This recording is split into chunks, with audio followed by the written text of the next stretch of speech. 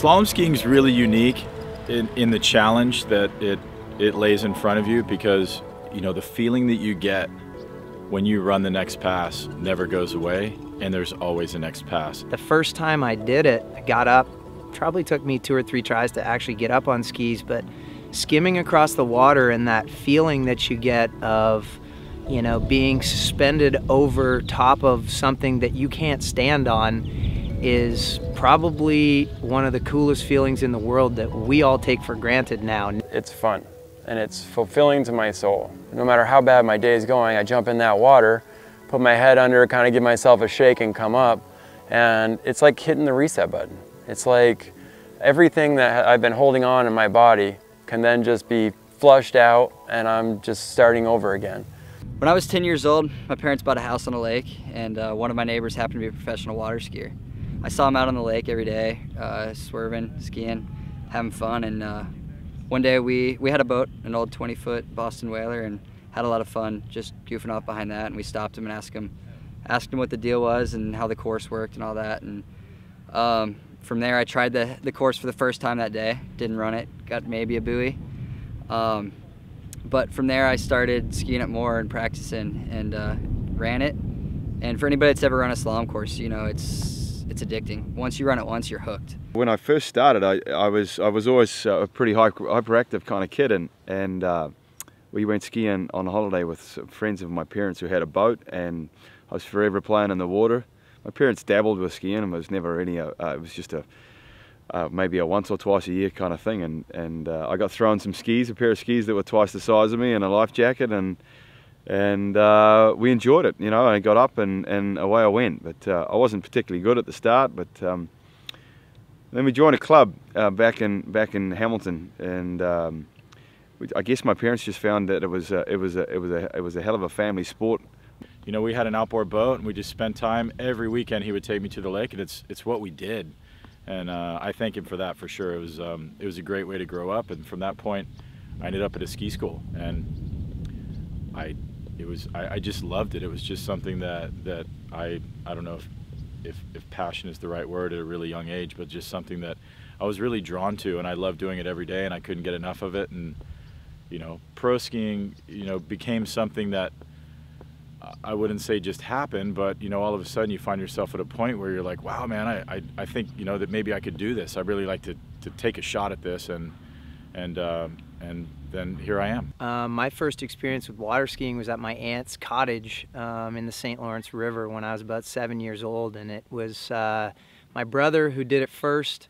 My brother Dan jumped on the skis, boom, no problem, got up, and I was looking at the weeds, and I was looking at the water, and I was thinking about all the fish we had caught, and it was kind of looming in the back of my mind, and I was nervous about it, and it took me a, a you know, I don't know how many tries to actually get up the nerve to do it, but the first time I did it, I got up, probably took me two or three tries to actually get up on skis, but skimming across the water and that feeling that you get of, you know, being suspended over top of something that you can't stand on is probably one of the coolest feelings in the world that we all take for granted now. Now we're out behind the boat, you know, either doing a flip or carving a turn or micro adjusting things, but it's that that sensation and that look on people's face when they first skim across the water and they realize, man, I'm suspended across water that you, you get hooked. You, the claws get in deep and, and whether you take it to a pro level or whether you know you are a cottage skier your whole life you you never lose that feeling of of accomplishment of doing something that you can't just walk across your pool but you can water ski across any body of water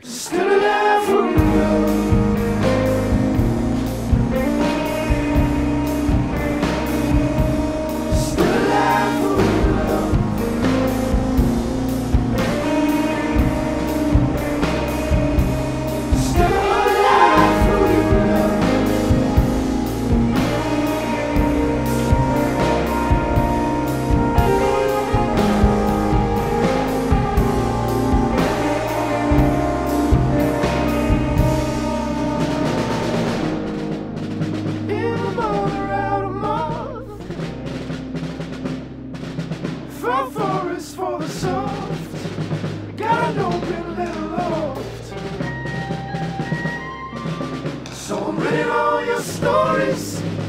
What I know what it is is pouring, wiring up. You're breaking your ground.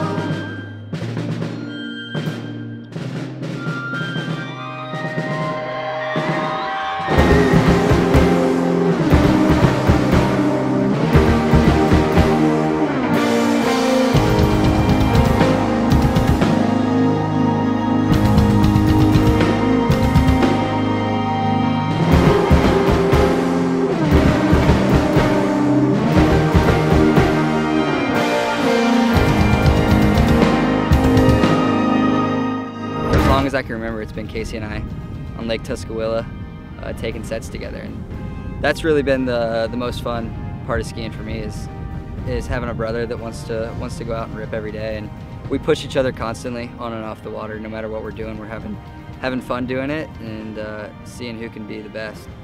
And for both of us, it's it's a drive to get better, and it's a drive to to keep having fun on the water. 1983, um, my father, we were living at a summer home in Vermont uh, on a public lake, pretty big lake. Uh, people were water skiing on the lake and, and that was cool. And uh, then my dad heard about this slalom course. At that point, uh, I had maybe skied once or twice. Uh, I was just kind of getting into it, but just seeing how, as soon as they put that course in, how it attracted my father and my uncle and, and friends to really go for it.